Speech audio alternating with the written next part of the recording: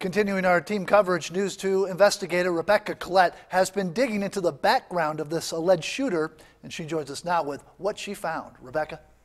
Brendan, good evening. The alleged shooter we just found out from the coroner is 36-year-old Travis Smith. The coroner has confirmed that he died of a self-inflicted gunshot wound to his head. At that press conference today, the sheriff confirmed Smith had been in trouble with law enforcement before. He faced previous charges of forgery, obstruction of justice, and altering checks.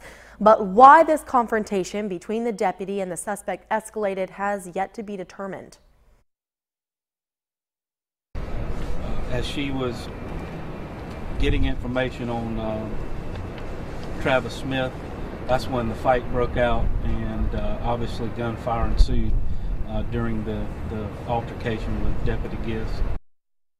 I've also been looking at the background of that officer. We know she was on patrol about a year. She had been promoted just last month, and before that, she was working at the detention center in Berkeley County. According to her LinkedIn page, she was previously employed as a cashier at BI-LO. Rebecca Collette, News 2.